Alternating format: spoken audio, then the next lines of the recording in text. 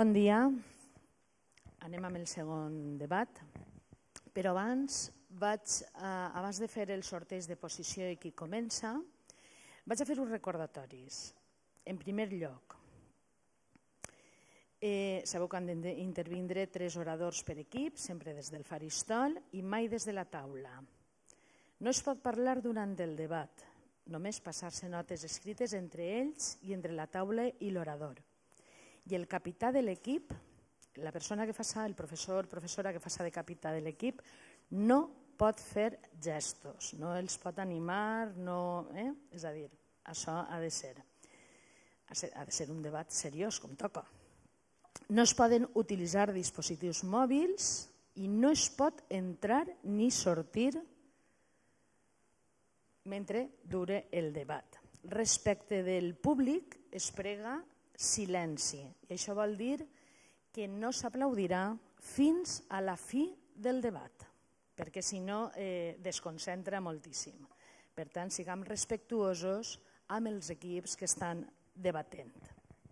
Dit això, eh, anem a sortejar ja la posició de favor i en contra entre eh, l'Institut Ernest Lluc de la, unitat, de la Universitat Pompeu Fabra i el Sant Gervasi que ve per la Universitat Autònoma de Barcelona. M'agradaria fer costar als capitans que quan em passeu la fitxa, quan passeu la fitxa als caps de jutges, és convenient que poseu l'ordre en què intervindran els oradors perquè de cara al, al jurat és més fàcil després per avaluar. Moltes gràcies.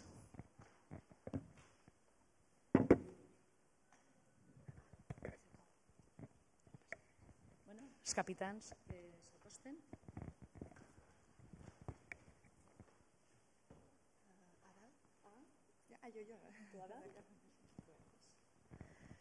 Anem a veure el sorteig de posició. Obriu els sobres. En contra i a favor. El, en contra l'Ernest Lluc i a favor el Sant Gervasi.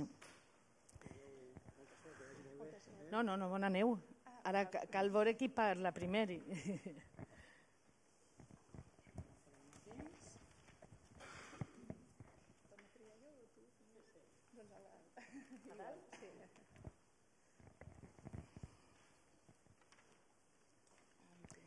començarà l'Ernest Lluc i continuarà el Sant Gervasi.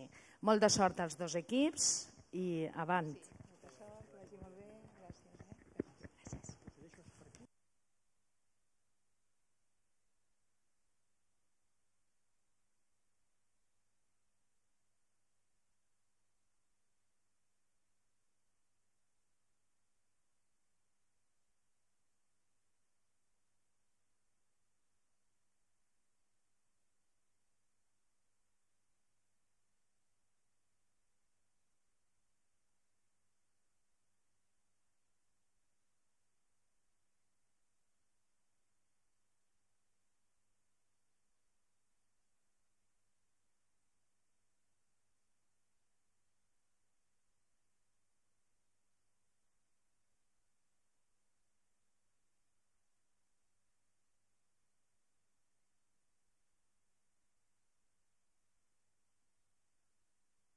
Hola, hola.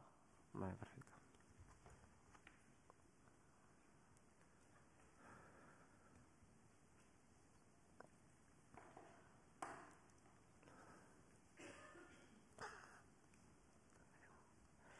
Eh, benvolguts membres del jurat, públic, equip contrari.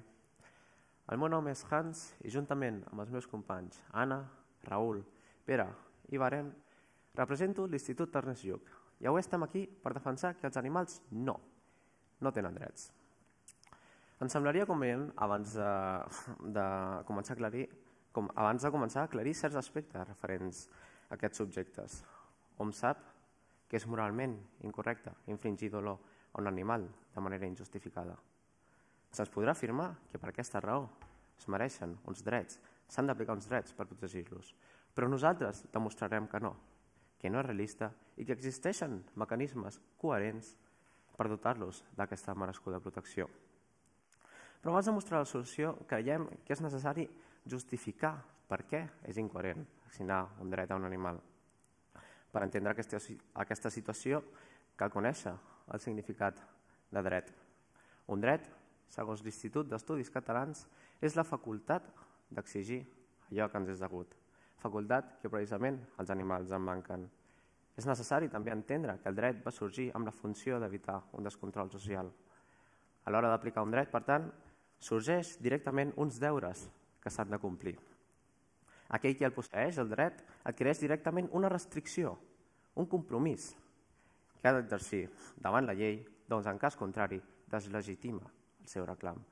És un lligam que serveix per mantenir l'equilibri entre dos subjectes de drets, perquè un dret sense deure és un privilegi. Ara bé, per què els animals no poden tenir drets? Perquè els animals no poden discernir entre el que és just o injust en base a principis morals i, en conseqüència, exercir el dret, el deure que implica el dret. Un dret sense deures, com hem dit, és un privilegi. I és a partir d'aquí on sorgeix el nostre primer argument. argument. Assignar drets als animals trenca l'equilibri existent en l'exercici d'aquest.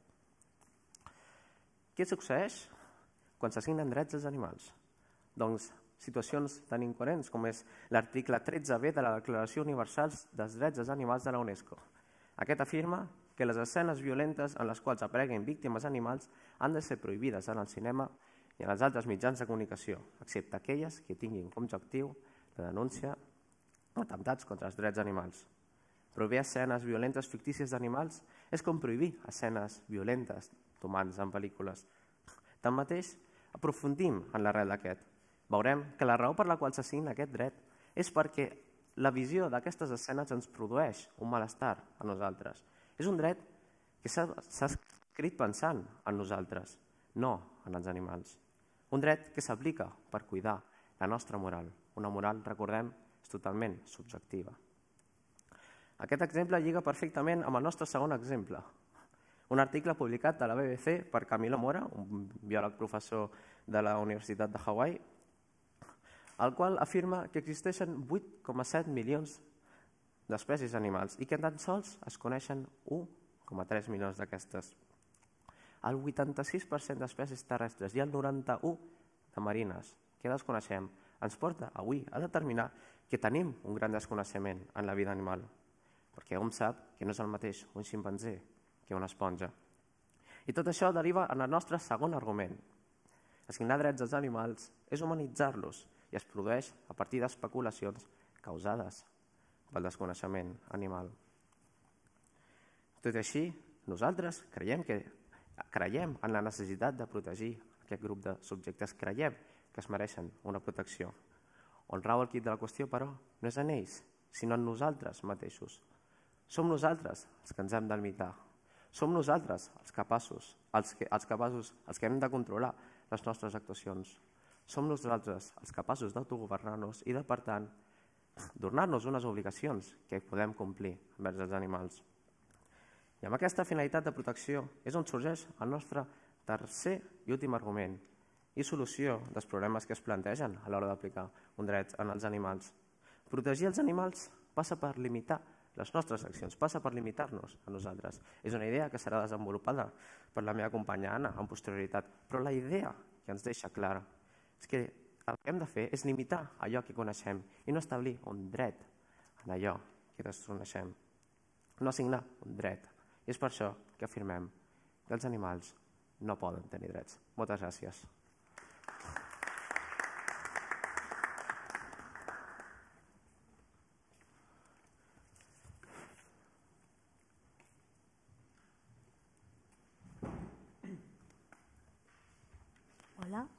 S'escolta?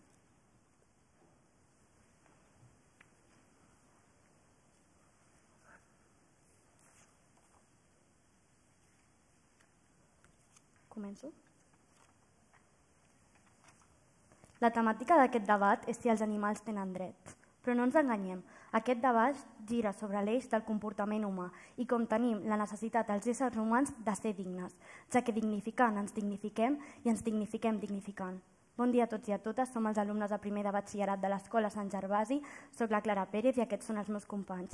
Carles Ruiz, Marc Castells, Berta Taulats, Oriol de Faust, com a suplent el Marc Piqueras i ens acompanya el José Ramon Bertolín. Bé, la qüestió que avui debatim té unes arrels profundes en el coneixement ètic i moral. Podem acceptar que hi ha una sèrie de drets naturals inherents als éssers humans pel mer fet de ser-ne? És a dir, podem acceptar l'existència d'uns drets humans que es diferencien dels drets de la resta d'éssers vius, incloent en aquests els animals? Si la resposta a aquesta pregunta és una afirmació, estarem acceptant doncs, una doble escala de drets, una pels humans i una per la resta d'éssers vius. Per contra, si la, pregunta, si la resposta a aquesta pregunta és una afirmació, estarem justificant un còdic moral on qualsevol vida, humana o no, serà mereixedora dels mateixos drets naturals. L'ésser humà és un ésser en diàleg, explica i construeix en relació als altres. La dignitat, doncs, és la conseqüència d'aquesta relació amb l'altre individu en qüestió. Serem mereixedors de ser dignes sempre i quan respectem i intentem fer, intentem fer el bé cap a l'altre. Des del Renaixement, en Pico de la Mirandola, ja ens va ser definit el concepte de dignitat. Ens explicava en el seu llibre titulat Discurs sobre la dignitat de l'home que la dignitat és aquest tret, tret específic que ens caracteritza i ens diferencia a l'ésser humà de la resta d'espècies. Aquest argument és el que fonamenta un suposat drets dels éssers humans que s'han de diferenciar de la resta d'éssers vius, permeteu-me que em reiteri, incloent en aquests els animals. Bé, per contra, el plantejament d'atorgar una sèrie de drets a la resta d'éssers vius té un doble objectiu. En primer lloc, restringir el dret dels humans a utilitzar la natura en el seu benefici exclusiu i, en segon lloc, la utilització de la noció del dret aplicant-lo aplicant als éssers vius a fi d'excloure'ls de la prepotència humana, és a dir, per regular i millorar la conducta humana. El fet d'atorgar dret a, drets a tots els éssers vius ens resultarà beneficiós a curt, mitjà i llarg termini, ja que permetrà la continuïtat i el manteniment de tots els nostres ecosistemes. Donant drets ens convertim en lliures, donant drets ens convertim en dignes. Fixeu-vos-hi quina paradoxa, perquè serem dignes sempre i quan minimitzem, regulem o erradiquem el patiment dels animals. El fet d'atorgar-nos regles, de fet, és el que possibilita les nostres societats, com podem veure en el llibre El senyor de les mosques, quan un dels personatges diu cal que tinguem regles i que les obeïm, al capdavall no són pas salvatges. Serem mereixedors de ser dignes sempre i quan les nostres accions davant els demés siguin moralment ètiques i serem indignes sempre i quan inferioritzem i maltractem a qualsevol ésser, sigui de la nostra espècie o de qualsevol altra. Des de temps immemoriables, els humans hem intentat dignificar els animals. Deixeu-me que us fiqui un parell d'exemples. A la Grècia clàssica dignificaven els bous vells atorgant-los el dret de morir quan ja estaven en pèssimes condicions. O, per exemple, el primer hospital el va construir un príncep hindú per als seus elefants i fins dos segles més tard els àrabs no van aplicar la mateixa teoria pels humans. Bé, per tant, d'ençà que tenim consciència de dignitat, hem aplicat els drets per protegir a l'endeble, que en aquest cas és l'animal. El dret és un constructe humà, mera ficció. Això no, treu, això no treu de la importància i el pes fonamental que, té, que té el dret dins de la nostra societat.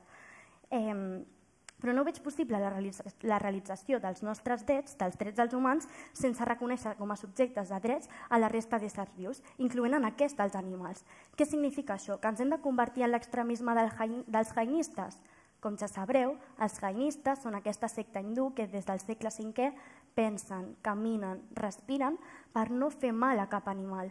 No significa que hem d'arribar a aquest extrem. De fet, el punt del debat d'avui no és quins animals hi aplicaríem en dret, a quins els hi aplicaríem quins drets i depenent de l'espècie. No és si els animals poden raonar, no és si els animals són conscients.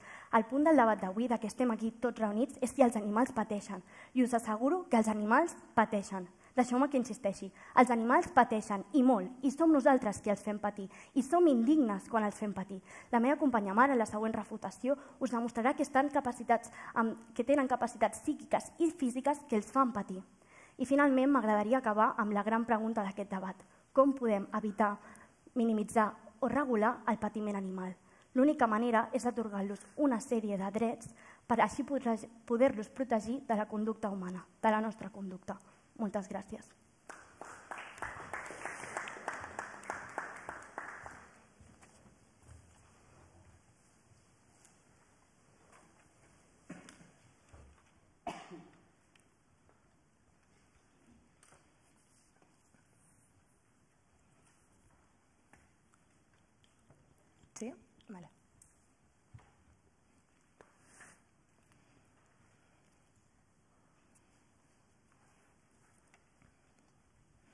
Bona tarda, el meu nom és Ana Albitar i ara continuarem defensant per què nosaltres creiem que els animals no tenen drets.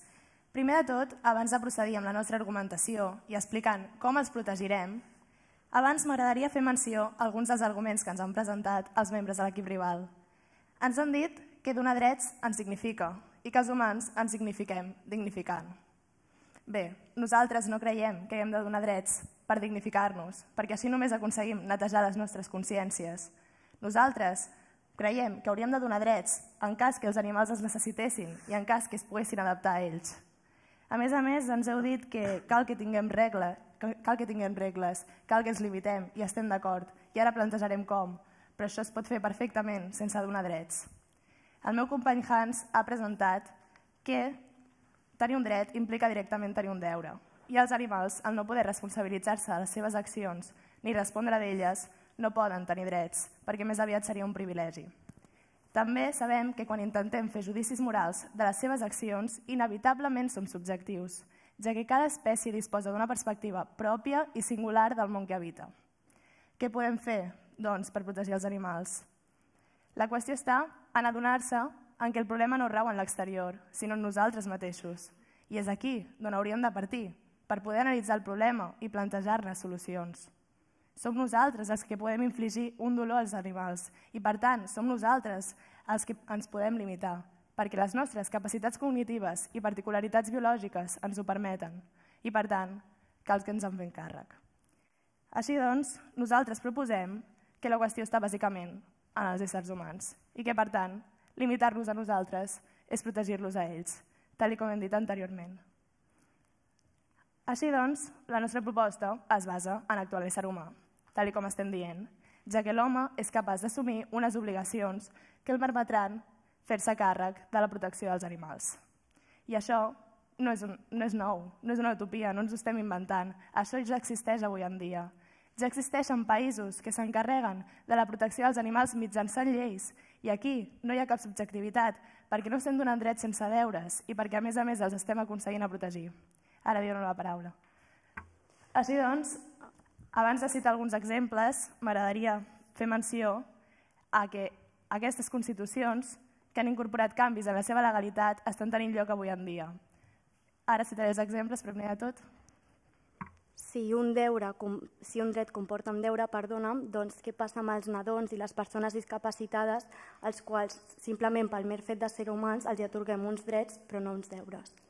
Bé, això no és cert del tot, no els hi atorguem simplement perquè siguin éssers humans. Sí que hi ha un deure que es compleix. El que passa és que aquest deure no es compleix en la primera persona. Hi ha una institució, que és la tutela, l'administració pública, que es fa càrrec de respondre pels seus deures, o potser la persona que té la seva tutela. Però aquest deure no es queda penjat, és l'administració que respon per ells. Per tant, per aquest mateix motiu tenen deures. Però els animals, ni en primera persona, ni alguna, ni alguna persona externa es podria fer càrrec. Així doncs, per passar a citar els exemples, ens agradaria dir que l'any 2004 la Constitució d'Àustria va incorporar un article segons el qual l'Estat protegeix la vida i el benestar dels animals. Alemanya, dos anys més tard, va reformar també el seu Codi Civil. I no només a Europa. A Amèrica Llatina es regula la protecció dels animals a països com Argentina, Xile i Colòmbia. Així doncs, nosaltres veiem que això és una realitat. Ja existeix una cultura proteccionista i a favor dels animals, en què és l'ésser humà qui es limita, qui s'imposa obligacions per respectar-lo. Apostem per això, apostem per limitar-nos, apostem per protegir els animals, però això s'aconseguirà no donant-los drets. Moltes gràcies.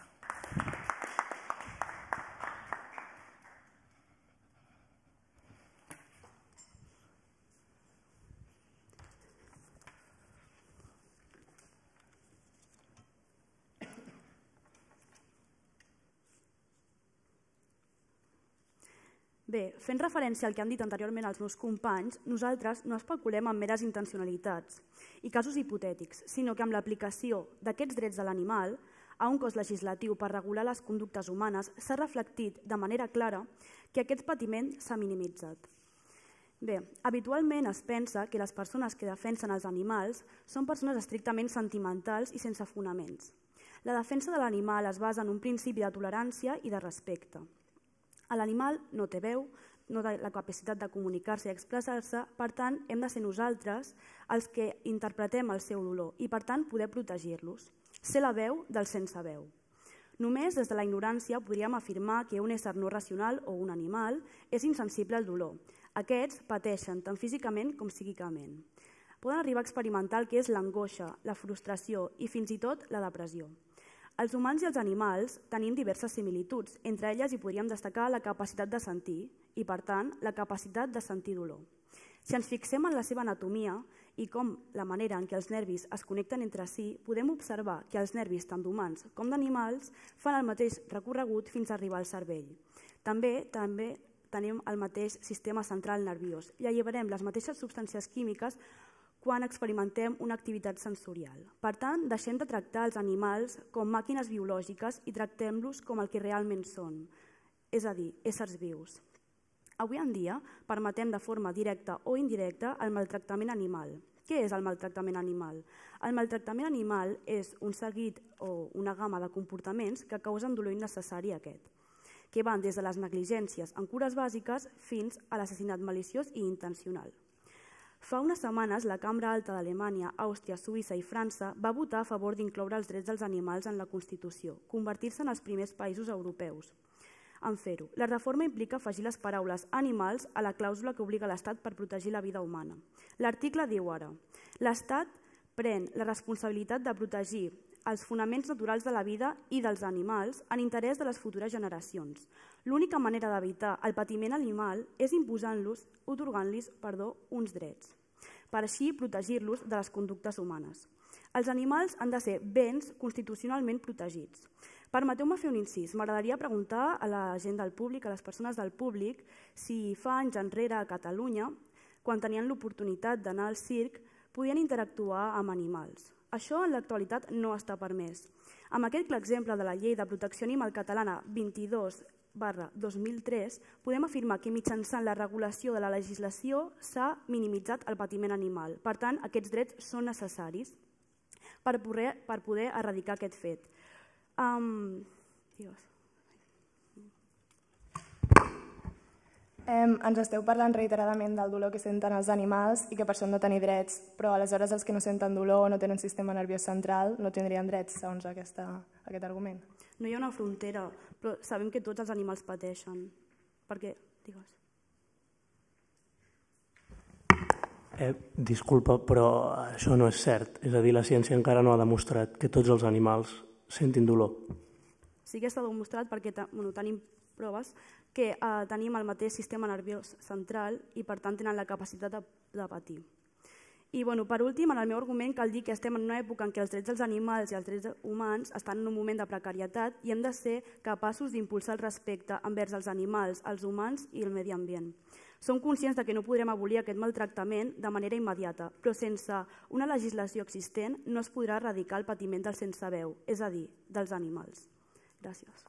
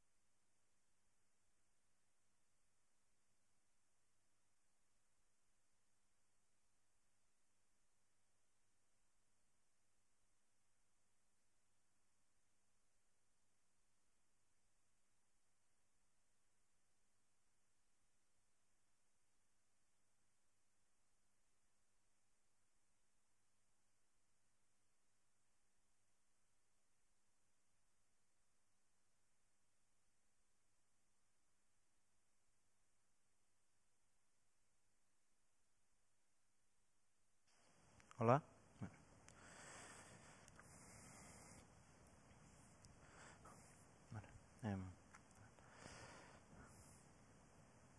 Bon dia, eh, sóc en Raül, estudiant de l'Institut Ernest Lluc. Em presento i ara procediré a fer el torn de refutacions. Eh, primer ens hem parlat de la capacitat de sentir. Eh, nosaltres els hem demostrat que no tots els animals poden Potser poden tenir el mateix sistema nerviós, però no poden patir el dolor. Vostès posen al mateix sac un simi que una esponja?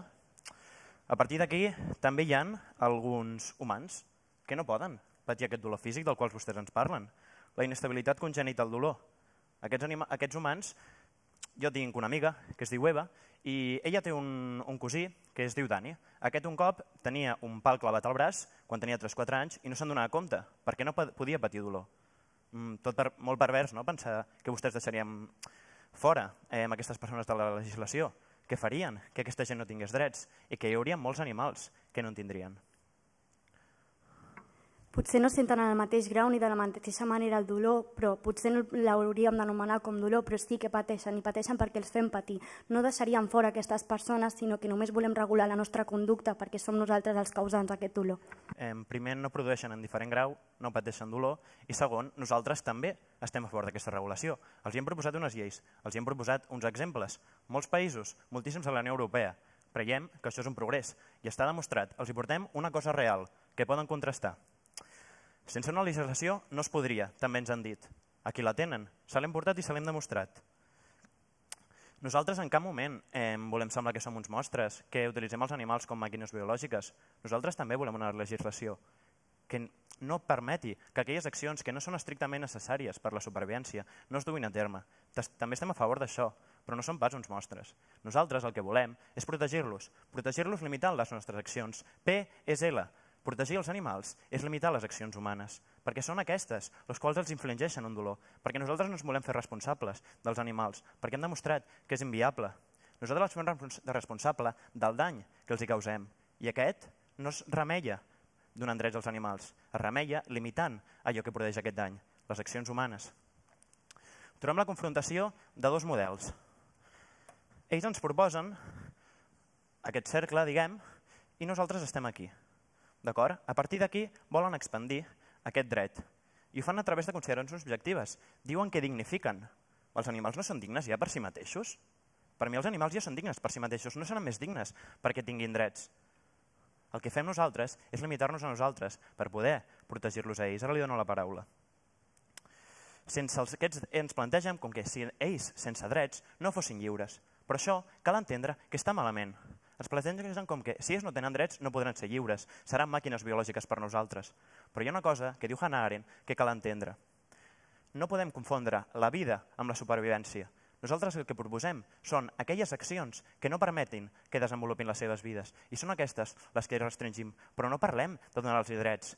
Nosaltres no parlem de la seva vida. La seva vida ja és seva, ja la tenen ells. Nosaltres només volem limitar aquelles accions que els causen un patiment, que no permeten que es desenvolupen, que es desenvolupin com ells vulguin. Digui. Els drets serien una, serien una regulació entre la relació no animal-animal, sinó animal-humà. Per tant, seria l'única manera de dignificar-nos, perquè, com hem dit, només es pot dignificar sent dignificat. Això ho estan dient vosaltres. I com proposen que reclamin aquests drets? Els drets s'han de poder reclamar. A mi no serveix de res que em garanteixin un dret si ningú me'l reclamarà. Els humans, aquells incapacitats, aquells nadons, tenen una tutela. Però, en canvi, els animals que van més enllà de fronteres, d'estats, que viuen, per exemple, al mar. Qui s'encarregarà d'això? Això és inviable. Nosaltres el que proposem és una cosa molt senzilla, i amb això acabaré. Totes les espècies viuen en equilibri. Qui trenca aquest equilibri? L'espècie humana. Què proposem nosaltres? Limitar això. No proposem una proposta humil, una proposta realista. Proposem no donar drets per protegir-los a ells. Moltes gràcies.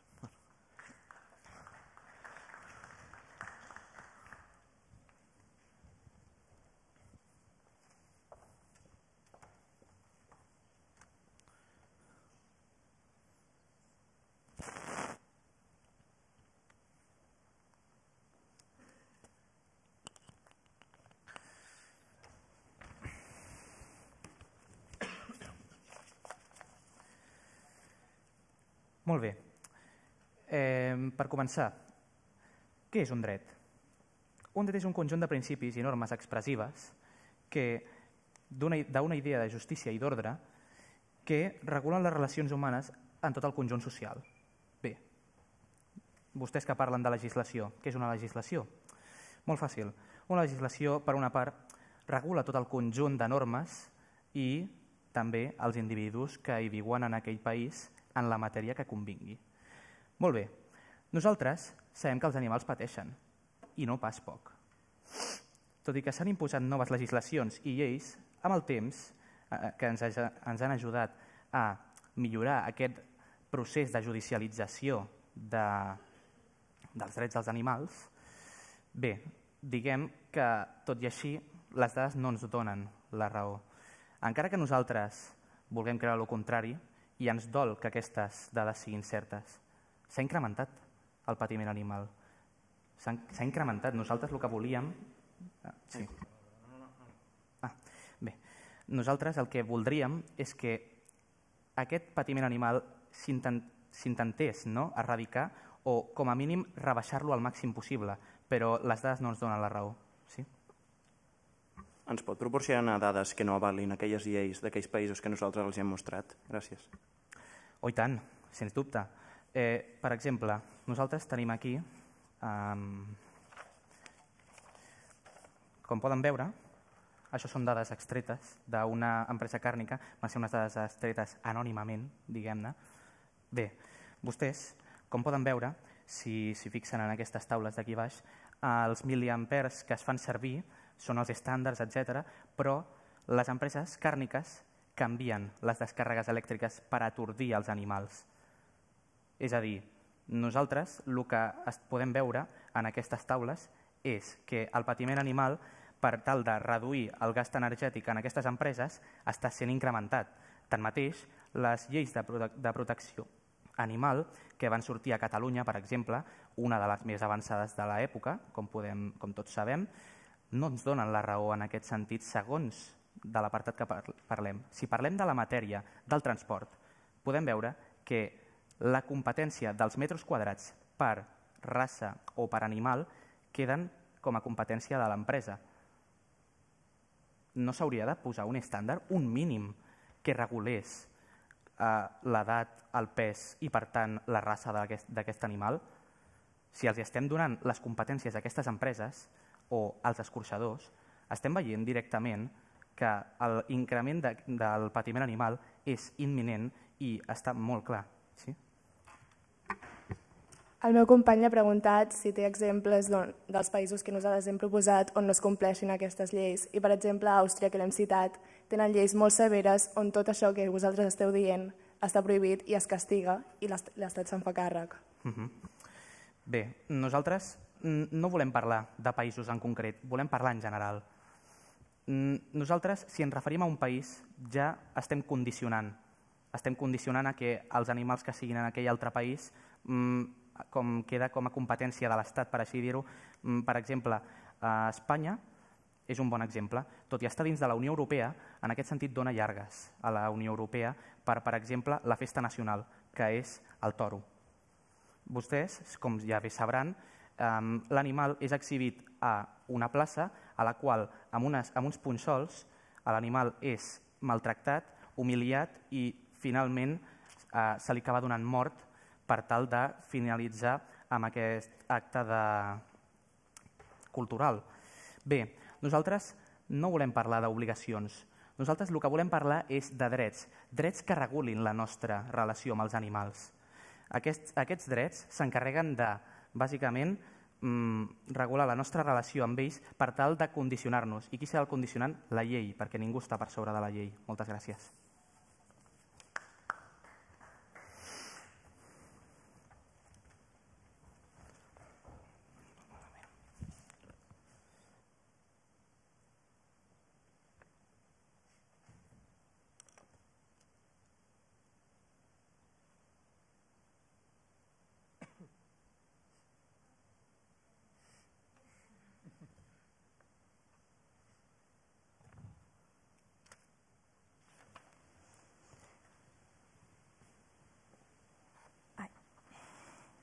M'escolta? Sí. Vale. A la Terra convivim diferents poblacions d'éssers vius. L'equilibri natural o l'estabilitat de la natura és la relació que mantenen les espècies entre elles i el medi. L'equip contrari ha estat remarcant que hi havia molts, moltes espècies que potser no sentien dolor. I sí, és veritat, nosaltres hem defensat que també el poden sentir. Però, donat que cada ésser viu és important per si mateix, Aquests ostenten uns drets naturals i intrínsecs. Per aquest motiu, cap individu té potestat d'eliminar-los trans i o transgredir-los, ja que si ho fa, ataca directament a la natura. Per tant, de la mateixa manera que l'home té uns drets inherents, com són el dret a la vida o el dret a la llibertat, independentment de la raça, l'edat o el país d'on provingui, l'animal, pel sot fet d'existir i de formar part de la natura, els posseix també. El fet de que l'espècie humana no només es guiï pels instints o la supervivència i tingui un pensament racional, no fa que sigui un ésser superior, i és demostrat que l'humà que respecta la, la naturalesa no tendeix a l'agressió d'altres éssers vius. El problema radica quan l'espècie humana, que té un concepte de superioritat envers les altres espècies, la sotmet per obtenir un benefici, ja sigui econòmic, d'oci o per propi plaer. Considerant que l'home comet crims contra la naturalesa i els animals, que aquest també comet genocidis i que el respecte cap als animals pel propi home va lligat al respecte dels humans entre ells mateixos, és, és necessari que la societat, davant d'aquest abús, reculli en forma de lleis aquests drets que ja existeixen de manera natural i que, en conseqüència, l'espècie humana també haurà de respectar. Per tant, les normatives que fan referència als animals no es poden centrar en la utilitat que puguin tenir aquests a les persones, sinó que ho han de fer defensant els seus interessos i d'aquesta manera recollir els drets naturals que, eh, que traspassen les barreres de l'antropocentrisme. En general, tots aquests drets serien tots aquells que permetin la llibertat dels animals salvatges, que els domèstics visquin i creixin al ritme i a les condicions pròpies de la seva espècie, i a viure en el seu propi medi natural, ja sigui terrestre, aeri o aquàtic, a reproduir-se i a poder complir el seu cicle vital. Així, tots els animals neixen iguals davant la vida i tenen el mateix dret a l'existència. Finalment, m'agradaria insistir que molts d'aquests animals que nosaltres utilitzem per, al nostre, per al nostre interès eh, sí que pateixen. I, per tant, el millor mètode de minimitzar aquest patiment és la construcció d'uns drets, els quals regulin el comportament humà i la nostra relació amb l'animal. Atorgant-los aquests drets, els estarem dignificant i ens dignificarem a nosaltres mateixos, com és, com és el que el meu equip ha estat defensant durant tot el debat. Gràcies.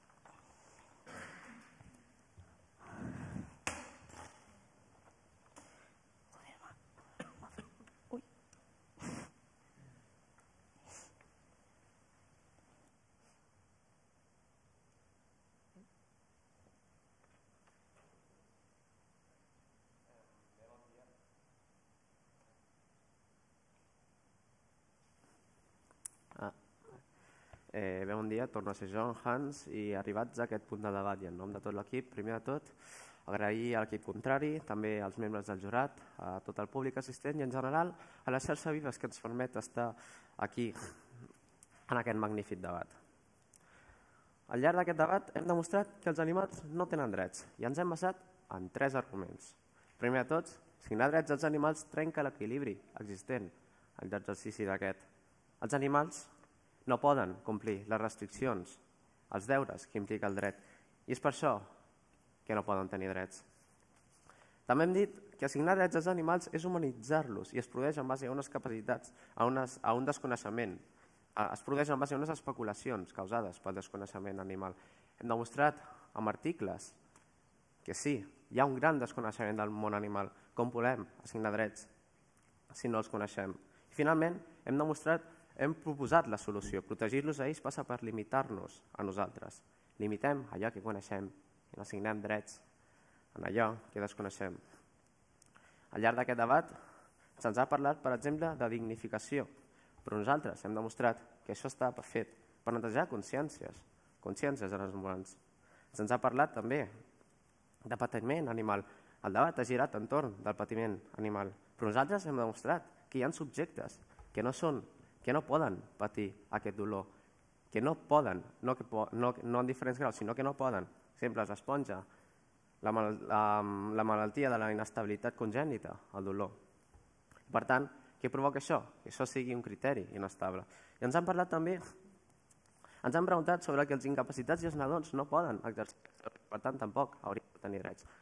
Però nosaltres hem demostrat, la meva companya, que existeix la institució de la tutela, que exerceix aquest deure que necessiten. Una institució, la tutela, que està feta, és un mecanisme de l'Estat per protegir aquests subjectes. aquests humans que són incapaços d'adquirir deures legals envers altres. També, i per reforçar, eh, també ens ha parlat de protecció, de que mereixen els drets per ser protegits, però nosaltres hem demostrat que aquests drets no es poden ser aplicats i aquesta protecció són les lleis. I no és una idea nova, sinó que existeixen.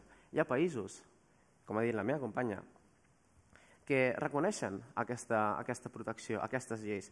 Àustria, Alemanya, Xile, Colòmbia, que els animals no tenen drets, però sí una protecció. I per acabar aquest debat m'agradaria acabar amb, amb una frase que resumeix molt bé el que nosaltres defensem. Si l'ésser humà aspira a una vida correcta, el seu primer acte d'abstinència és el de ferir un animal. Protegir-los a ells passa per limitar-nos a nosaltres, passa per limitar les nostres actuacions. I és per això que els animals no poden tenir drets. Moltes gràcies.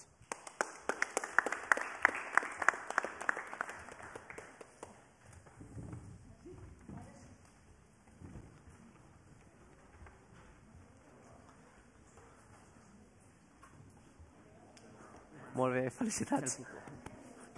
Molt bé, molt bé.